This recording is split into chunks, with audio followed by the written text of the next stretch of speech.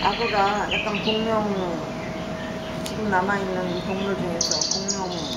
모양을